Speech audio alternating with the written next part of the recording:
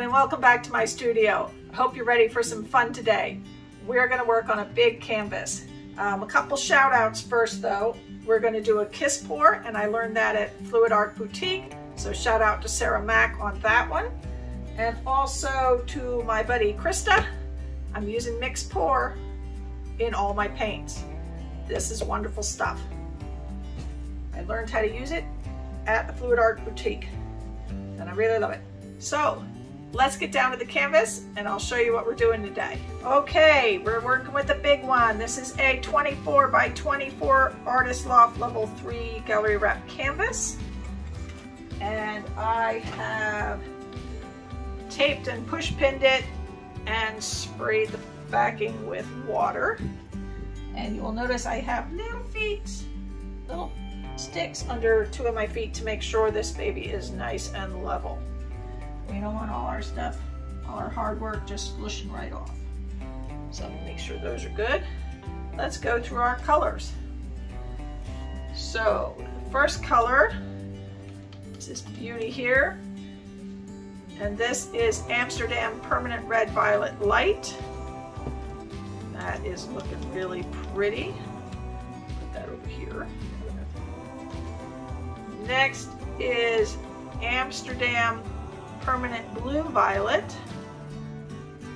That is a really beautiful dark, deep color. I'm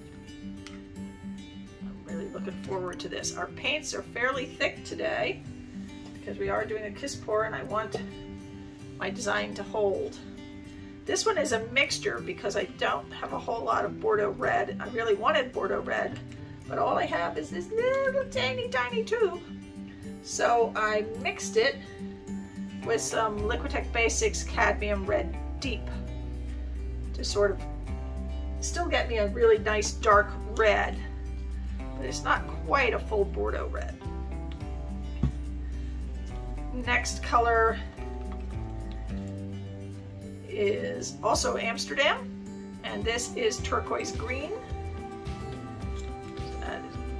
Beautiful color. Next up we have Liquitex Basics in the Phthalo Blue. That is really pretty dark blue. Of course we have my all-time favorite Deco Art Americana Decor Metallics in the 24 karat gold. Have to throw some of that in here. Now my gold is mixed a little bit thicker than my other paints, so it disperses less, um, but I still get that color. And my last one is my white. And this one is a mixture of the Amsterdam Titanium White with a little bit of our DecoArt Satin Enamels in pure white added. And that's gonna give us some lovely effects, that little bit of satin enamels in there. All right, so we're going to do a kiss pour. This is a 24 by 24 canvas, so we need about 21 ounces of paint to cover it. Um, these are both 16 ounce cups, so we are not going to fill these. We're gonna put about two thirds up in each cup to give us about 10 ounces in each cup and then we'll put a flow extender on. So we're going to start both cups with a little glug of white.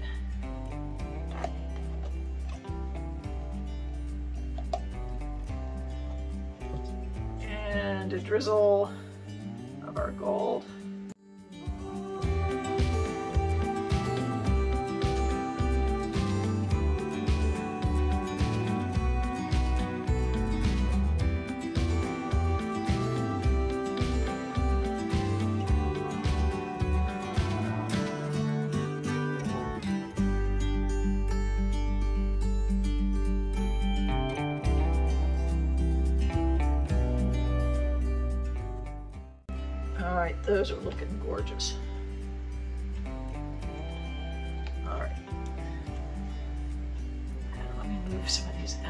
My way. Gonna be knocking them over while I'm tilting.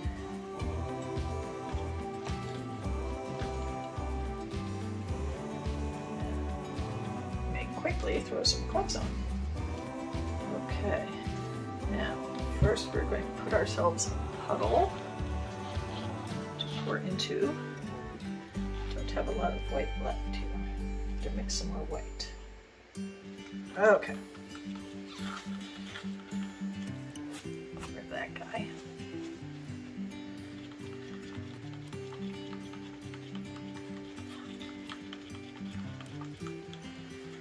All right, let's pour some white. In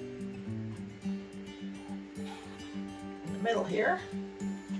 We'll stretch that out a bit. I'll be ready to pour. Clean myself off a bit. All right, so we're just gonna stretch that circle out a bit.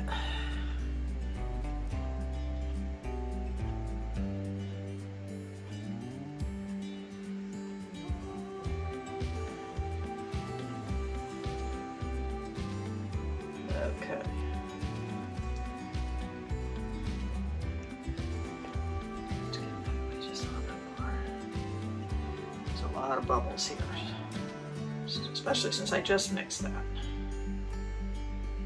That's what I'm thinking.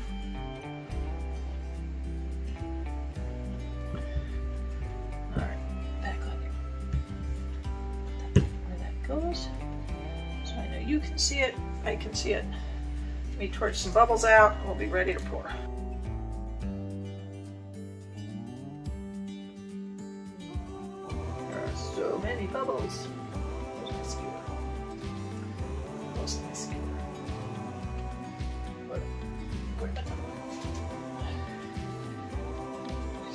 So many giant bubbles here. Just get rid of a few of them real quick.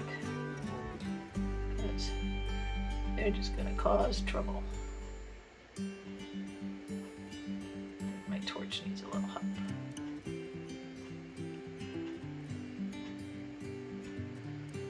Alright, that's good enough. I may want to wreck it, so I'll keep that skewer around. Alright. Now we're going to take our two cups going to pour them into a single stream right in the middle here.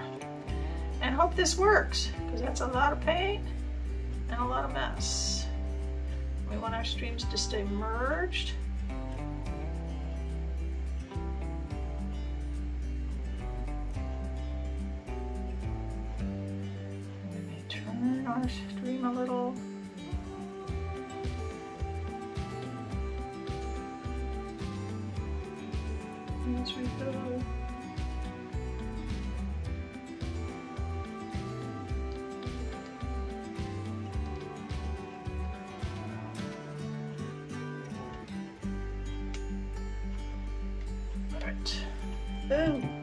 Very poor dismount there, guys.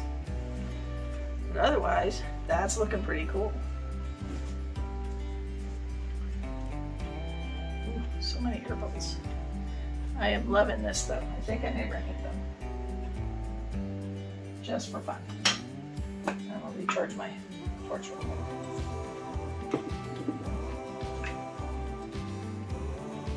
Oh, it's looking gorgeous. Loving the colors. All right, I'm torch your bit. There's so many air bubbles in here.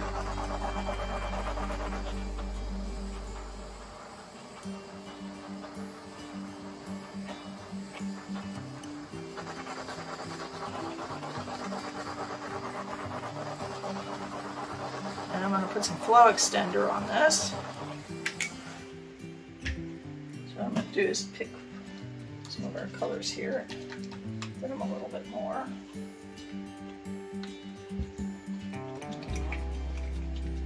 Around the outside here. So I think I'm gonna start with, have any white left, over here where I don't have much white. Around the outside. Start with pouring some of this leftover white.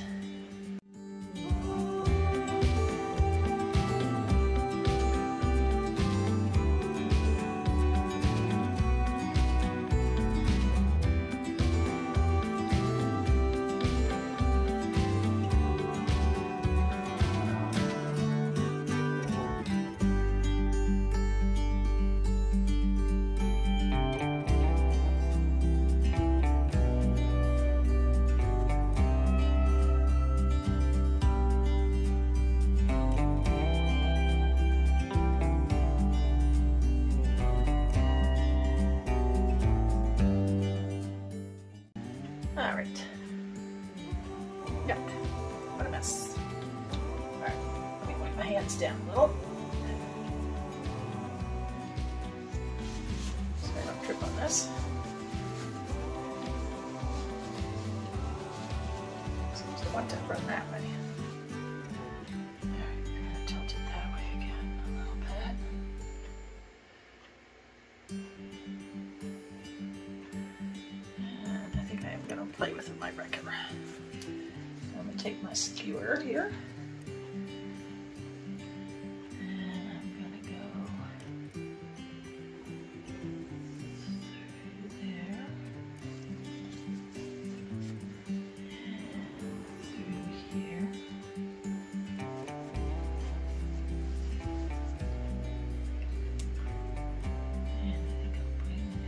Is very solid up here, so I'm gonna bring a little of this up hopefully into that.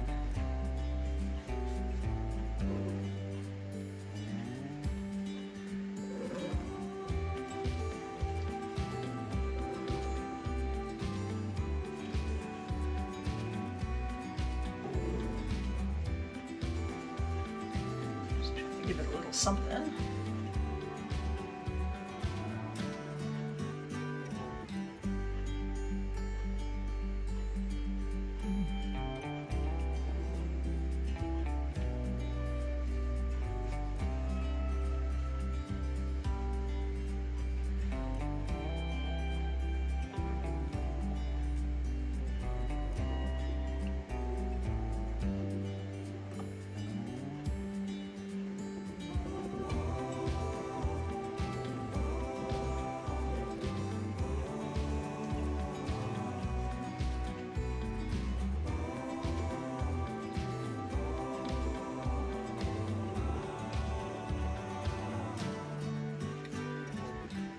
A lot of it's going to get tilted off anyway, but what the heck. Alright, let's play. Time to tilt.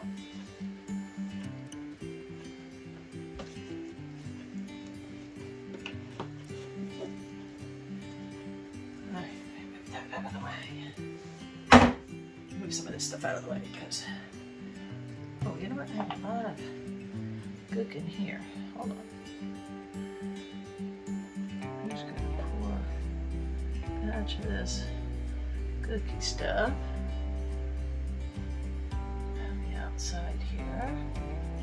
Help us move.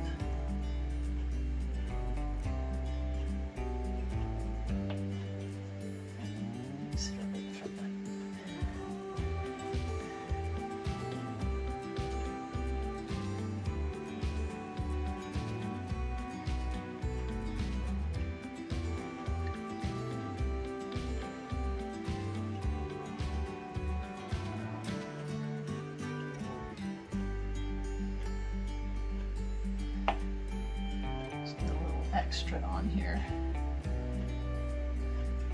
Help our paints from rolling over each other.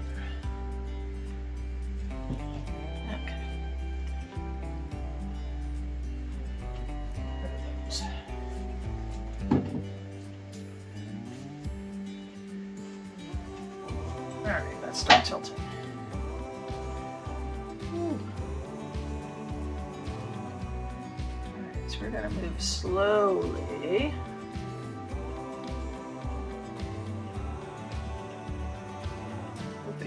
Still see. Hold on, let me see if you can see well. I have to raise you up a little.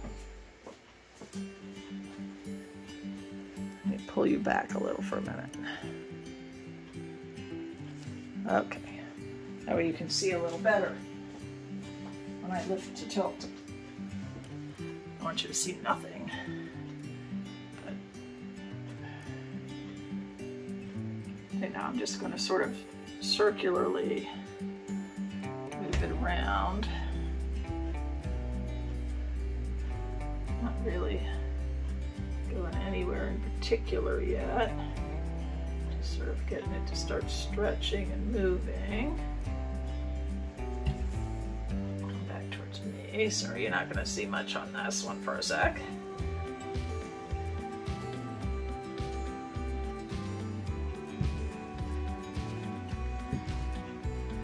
Turn it around so I can side. Again, keep running that circle around. So we're just sort of going in a large stretching circle motion just to get everybody sort of moving, see what pops up.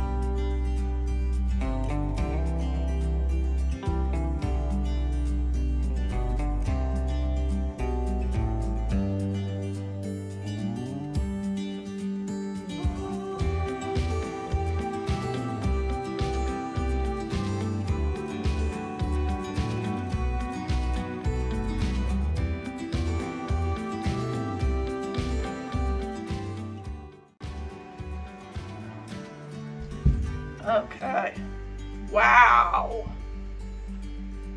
Wow. That is crazy gorgeous. Oh my goodness. All right, let me turn this a minute. Uh, not that turning this is easy, guys, because this is a heavy canvas, especially with all that paint on it. There are cells exploding all over. Needs the feet not because of the canvas, but because of this table. There is some, ooh, goodness, my apron tie is falling into the paint here. Hold on.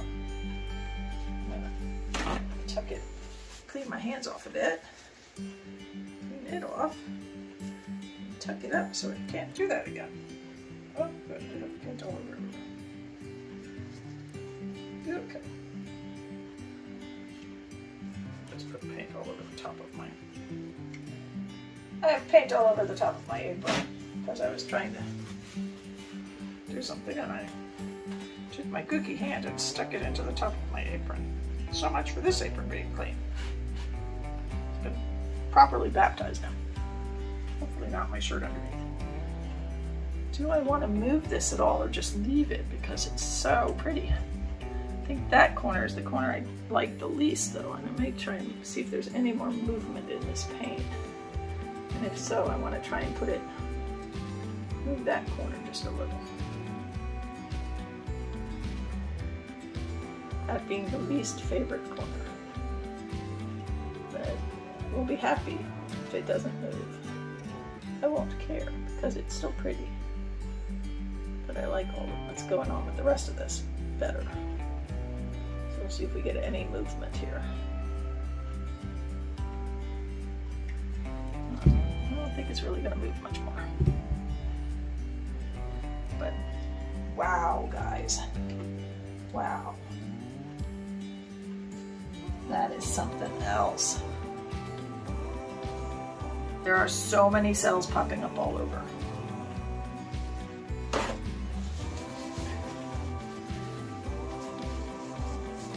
Just from, and there's this, cleaning my hands before I point at something.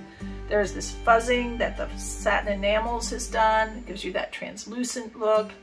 There are all the cells, and that's from the mixture of the metallics and the plain paints and the mix pour and the air bubbles that were in there. There's just so much going on.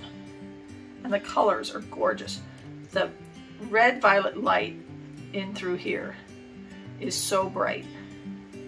And over here you've got that blue violet giving you that dark contrast. And that red is popping up all over the place. Oh, all right. I'm gonna take you down for a close-up. Hold on a minute. I'm gonna do something about my edges. Okay, let's take a closer look here. I am just loving the way this turned out.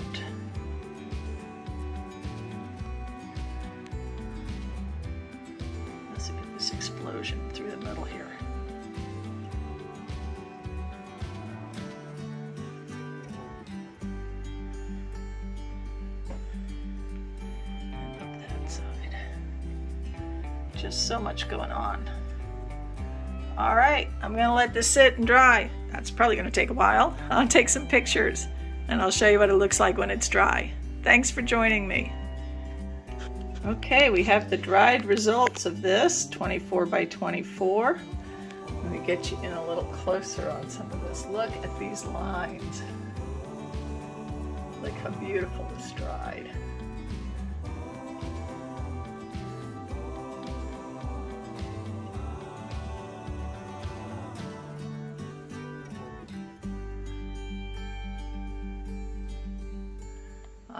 Absolutely in love with this painting. Okay, thank you so much for joining me. I hope you enjoyed watching. Um, please subscribe to my channel, leave me a comment, hit that notification bell. I'll see you next time.